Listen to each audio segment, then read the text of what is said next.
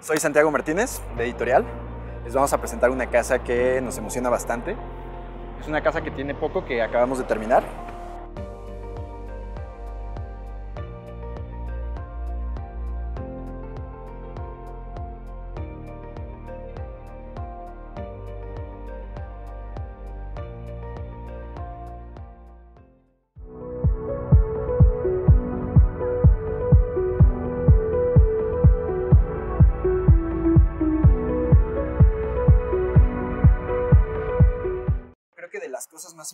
Que nos gusta a nosotros tocar al momento de estar diseñando es entender que el contexto y que prácticamente el terreno nos marca y nos dicta cómo tenemos que diseñar la casa.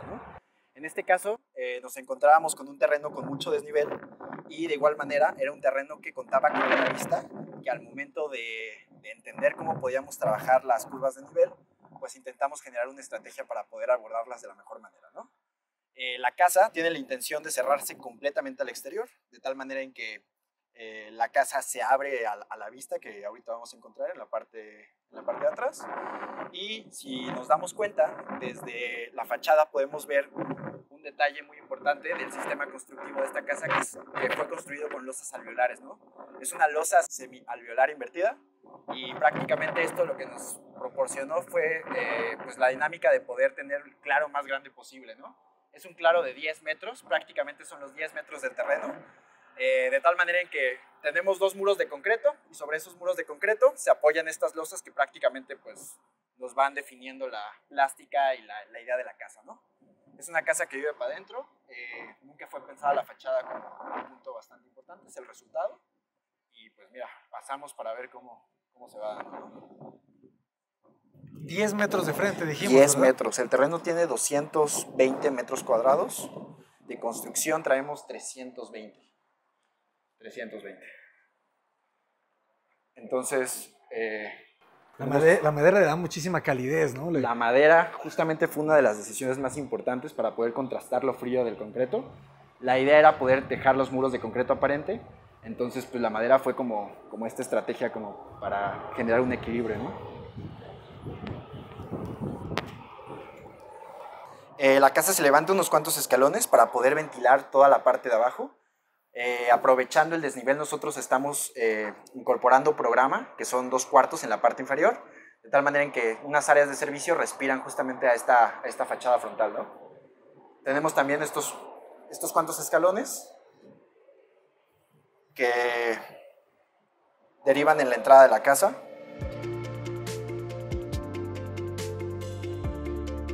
al momento de entrar, prácticamente se comprime un poco el espacio. Tenemos el alambre de madera que nos, nos, acompaña a lo largo del recorrido. Ok, entonces tenemos eh, prácticamente este pasillo que nos comprime, vamos caminando al lado del alambril y al momento de entrar tenemos la gran sorpresa y pues la magia de la casa, ¿no?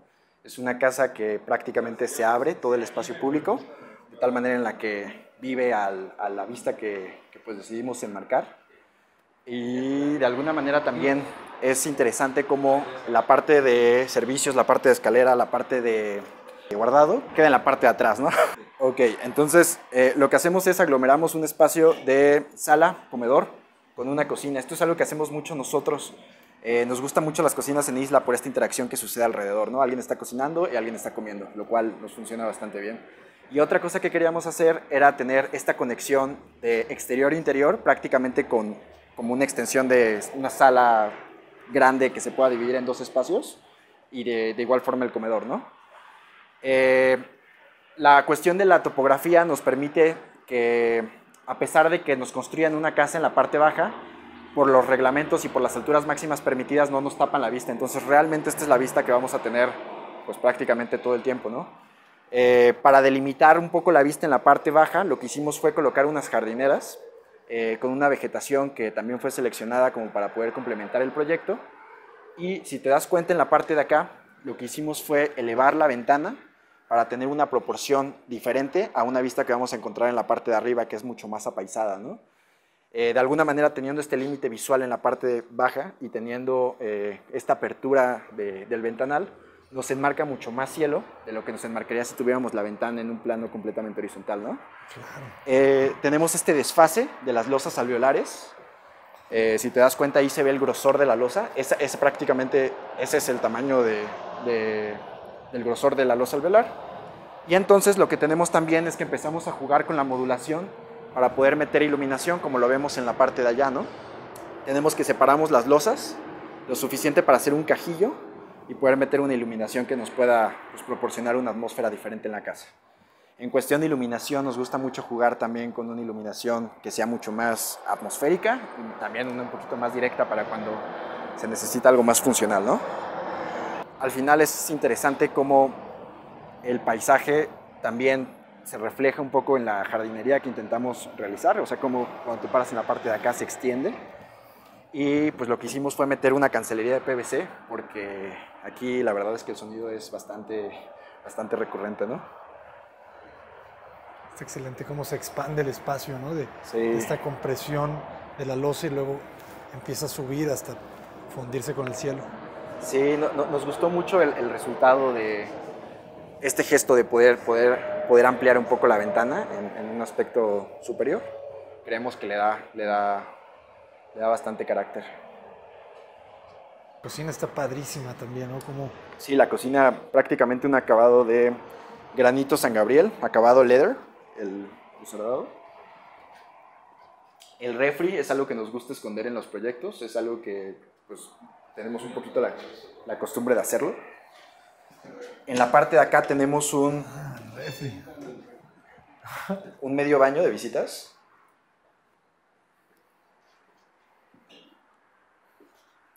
Con esta idea de la caja, del hambrín también, ¿no? Exactamente.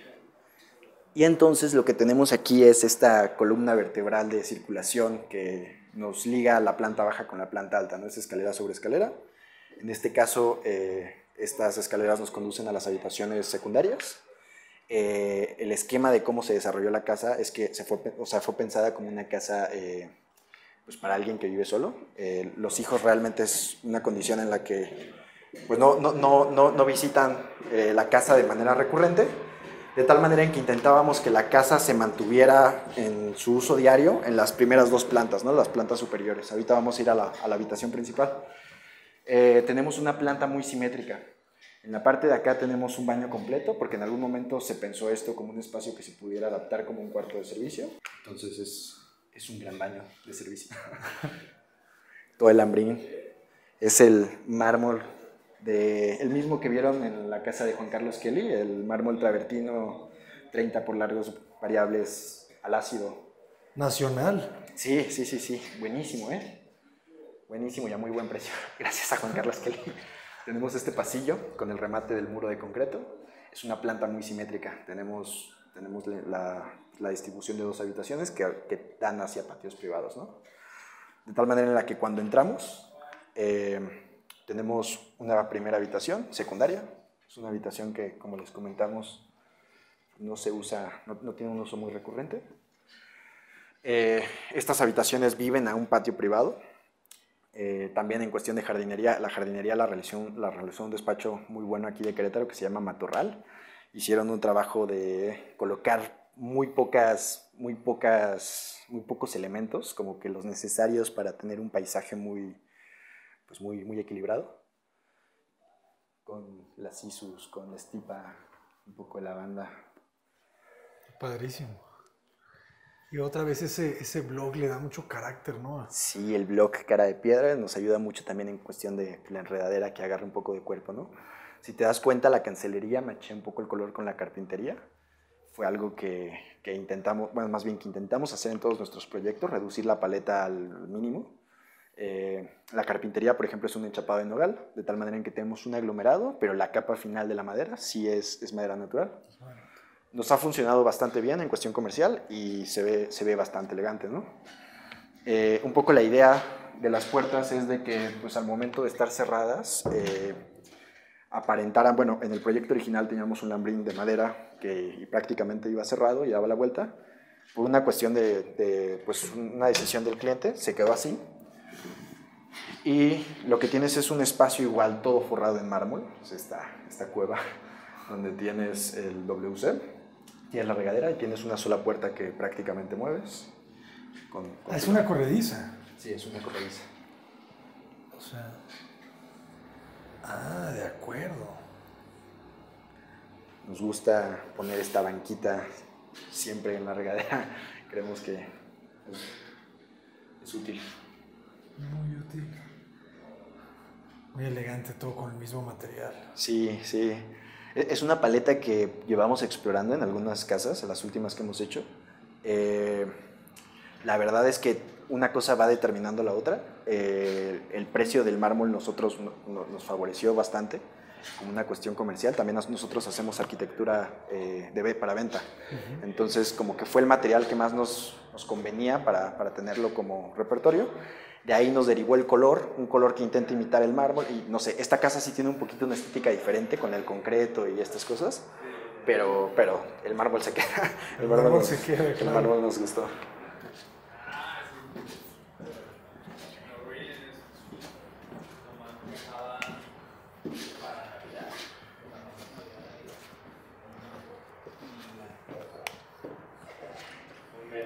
Padrísimo, todo el monoespacio, sin nada de apoyos. Sí, el claro muy grande. Nos gusta mucho, como, como decíamos, ¿no? el contraste del el concreto con la madera. Creemos que se, se genera un equilibrio ahí bastante interesante. Entonces es, es una de las cosas que, que nos agrada bastante. Que no es el oasis. O sea, es, que los grandotes son el oasis, el freedom. O sea, pero hay unos que son más medianones, que traen todo, pero no. Sí, no, a lo que, a lo que vi y a lo que Es una joya esta casa. ¿Qué altura tenemos? Aquí tenemos 250. Metemos siempre 250 por una cuestión de la distribución de la madera, 240. Metemos un pollo de 6 centímetros y prácticamente se nos da el entrepiso de 250. También por las medidas de, los, de las contrahuellas y las huellas de las escaleras que metemos, siempre metemos 17.5, como que ya tenemos nuestra, nuestra medida estudiada. Entonces, esto es bastante interesante, ¿no? Tenemos el hambrín de madera, que prácticamente está en planta baja. Tú abres la puerta y esta es la puerta de tu habitación principal. Y a pesar de que la habitación está arriba, tienes la puerta en la parte baja. El cliente nos pidió primero eh, prácticamente generar un espacio que pudiera servir como sala de TV, eh, oficina, etcétera. O sea, que pudiera tener, ser un poco flexible. Eh, la verdad es que es un espacio que, que queda bastante relacionada con la habitación, por esto mismo de que se encuentra en, el mismo espacio. Y pasando para acá tenemos las escaleras que nos llevan a la habitación.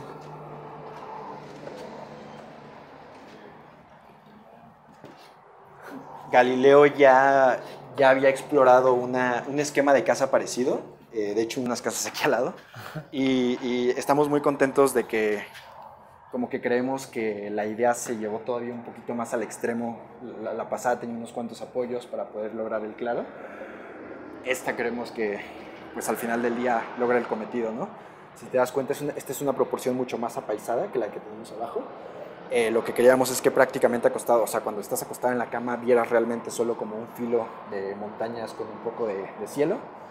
Y pues es un espacio que una vez más sucede esto de intentar meter el mismo tono interior-exterior, pero con los tratamientos necesarios, uno para, para exterior y otro para interior, ¿no?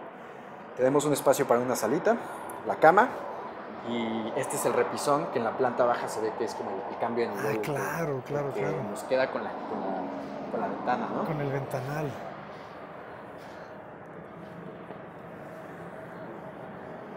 Esto se vuelve. Esas maceteras. está, genial. eh. improvisadas. No, pero está muy bien. Está y muy bien. sí. Me recuerda como la vista del Salk Institute, ¿no? Como que con estas dos piezas de concreto y el piso de concreto, ¿no? Ok, ok. Sí. Marcando el, el cielo. Y otra vez 250 aquí, ¿verdad? Donde 250. estamos. Sí, sí, sí. Esto está bellísimo.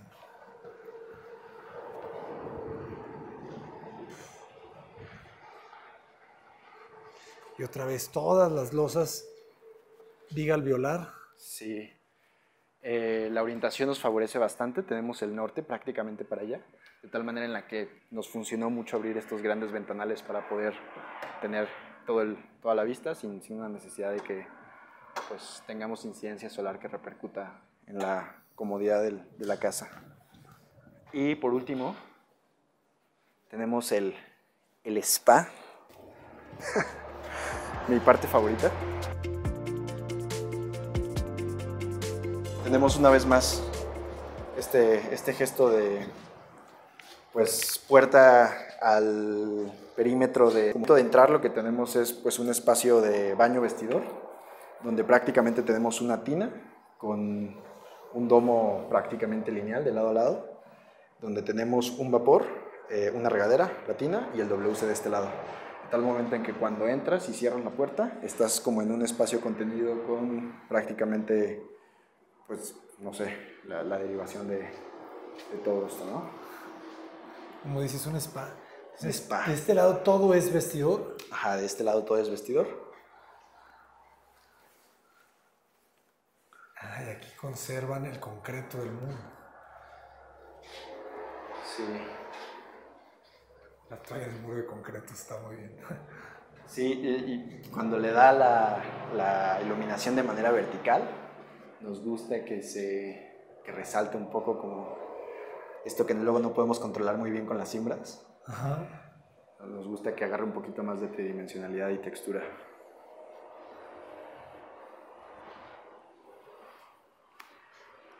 Déjame ver una forma de prender. Qué casa. Claro, porque quizá va a tener una luz en el. allá arriba. Ahí está. genial. Ah, sí le da mucha, mucha vida. Se suelta, ¿no? Ajá. Se suelta. ¿Cuánto mide esta pieza? O sea, ya con todo y los 60 del closet, ¿como unos 350? Tener como unos 330, 345 aproximadamente. o sea, 60, aquí ahora como 1.30, un metro 20 más. ¿Y de este lado qué es? El WC. Ah, ok. Sí, la idea es que una vez que cierras la puerta, tienes como esta condición ligeramente simétrica de puertas con puertas en la parte de allá. En algún momento se había pensado que fuera la, regadera para poder incluso lograr una vista con la puerta abierta, pero al final pues, fue, fue, fue, agarrando un poco de forma así.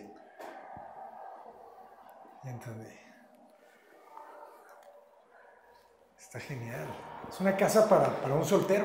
Sí, la, la, idea justamente es que, que viviera en, las, en, la planta baja y la planta alta. y, nos gusta mucho, bueno, al menos en las últimas casas que hemos hecho, hacemos este esquema como de sándwich, donde el espacio público, el espacio que comparte la familia, está en medio, es la de la entrada, eh, de tal manera en la que, no sé, los cuartos abajo viven solamente entre dos pisos y también la, la parte del cuarto principal vive entre dos pisos. Entonces, de alguna manera nos gusta bastante entender que no tienes que circular toda la casa para poder vivirla ¿no? a, a, tu foro. Genial. Y a las vigas ya no les hicieron nada, ¿verdad? Los dejaron todos aparentes. Sí, sí, sí, prácticamente ni, se chulearon. O sea, vienen, vienen con este acabado es, es, curioso cómo, cómo, se pone la, la, iluminación, porque prácticamente nos dicta que tiene que ser a un punto en específico. En este caso es como a, a, los tercios. Eh, no puedes poner la, la, iluminación, por ejemplo, en las partes centrales, justamente por cómo viene el, el armado de, de, la losa. Entendí. Sí. No puedes poner eh, cargas en, en, otros sentidos. Así sí es, es prácticamente entender, planear cómo usar el sistema estructural de la mejor manera, como para poder, poder aprovecharlo. Esto se utiliza más en plazas comerciales, en plazas comerciales o cosas así. ¿Y en costos cómo les fue? ¿Fue más elevado? Eh, sí fue, sí tuvo un sobrecosto. Eh, bueno, nosotros habíamos pensado primero hacer una losa ligera, una losa, una losa reticular. Eh, nos salían unas traves, ¿no? En, algunos puntos donde nos condicionaba un poco el cómo se desarrollaba la casa. Al final optamos por losa alveolar. Sí es, sí, sí es, mm, no sé, 30% más caro, porque de todos modos sí tienes que colar eh, la capa de compresión, unos candados que son lo que realmente anclan al muro, entonces sí es más caro, pero al final creemos que, que realmente es el lujo de la casa, o sea, lo que más nos gustó es que, que lo, más lujoso es el plafón, pues el sistema constructivo. lo que dicta, ¿no? lo que dicta el esquema de la casa. El espacio, sí, porque estás haciendo espacios libres de 10 por, 10 por 6, de 10 por 8. Sí, se va, se va, se va fraccionando. Y también si lo ves en planta, vamos de lo más privado, lo más lo que tiene que estar más apretadito, al, se, va, se va difuminando, se va abriendo conforme, conforme va llegando a la parte del extremo del, del terreno. Oye, y al final, bueno, eh, ahí está el cliente, ¿verdad? Pero, ¿qué, qué les dije, qué les dijo? O sea, ¿cómo vive la casa?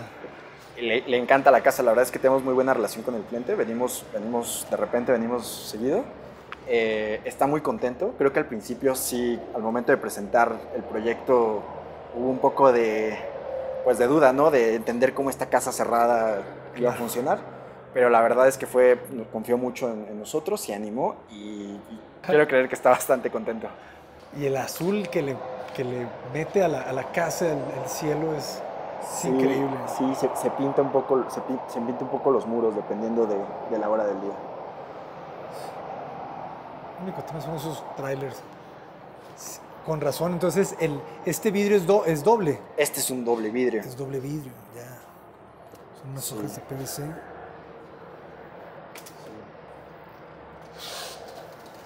Que son lo que garantiza, ¿verdad? El, el Sí. aislamiento. Sí, nos funcionó bastante bien el PVC por la condición del sonido. Excelente.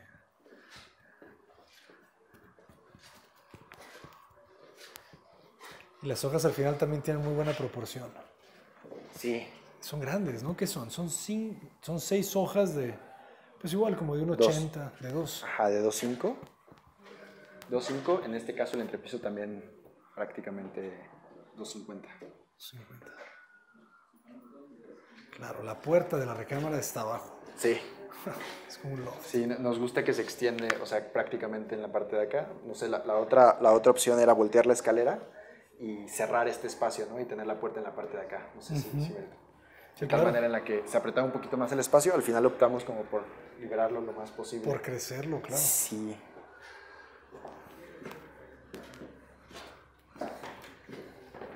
Y todo el piso es, es laminado de ingeniería. Sí, sí, justamente. Está muy bien. También le da toda esa calidez que el, que el concreto no le da. Exactamente, sí, sí.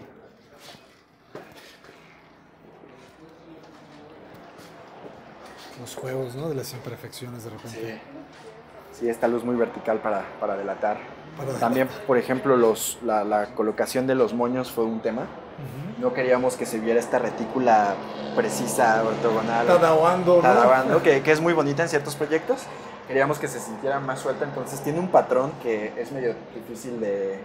O sea, se, se va repitiendo, se va, se va desfasando, pero como que también fue un juego ahí de estar todo el día rayando, entendiendo cómo, cómo se podía desdibujar lo más posible. Al rato alguien nos va a unir con hilos. Sí. Ah, pues genial.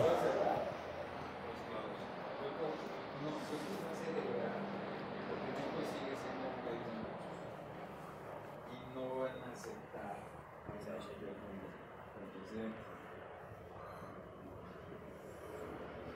Jorge Suárez. A ver, pues por favor, compártenos quizá algo de tu, de, de- de su filosofía de diseño. O sea, cómo, cómo, cómo trabajan, o sea, cómo abordan el proyecto, cuáles son como sus, sus puntos fundamentales. Eh, pues no sé, qui- quizás este, partir de las oportunidades. ¿no? En esta casa es el ancho total del, del terreno Ujú. y prácticamente siempre estás como que eh, teniendo eh, fugas. O sea, entras, a, rematas con las ventanas, rematas con... Eh, pero pues, no sé, depende de cada proyecto, ¿no? O sea, que esta escala de, de, de- de- de proyecto es distinta. Siento que se resolvió con muy pocas líneas, ¿no? O sea, es, es un proyecto como de mucha síntesis. No, y las casas que llevan prácticamente Galileito haciendo, o sea, como que esto fue una, una pequeña maestría, ¿no? Sí, o sea, eh, prácticamente todos los terrenos aquí tienen las mismas condiciones, ¿no? el mismo tamaño, eh, mismas condiciones de privacidad, de vistas, entonces son proyectos similares. hermanos, que ya vienen desarrollando pues un- una tipología, ¿no? Hablábamos hace ratito eh, con Juan sobre, sobre cómo todos los proyectos aprenden entre ellos Claro. y vas desarrollando, o sea, no, no desechas la forma en cómo resolviste un vestidor o cómo resolviste un baño o cómo resolviste un vestíbulo, sino que cuando, cuando, lo, cuando lo haces bien, lo repites y lo repites hasta que Sí, perfeccionas. Hay un aprendizaje. Ajá. De hecho, la casa que está ahí al lado es, es muy similar a, bueno, es- tiene, ¿quieres ir a la? Sí que sí. Es, es, Vamos, si quieren, vamos caminando. La hicieron al mismo tiempo. No, es- No. esta fue mucho, como dos años antes. Ah, claro. Es muy parecida, pero al momento de entrar tienes primero como un- una clase de atrio, un jardín.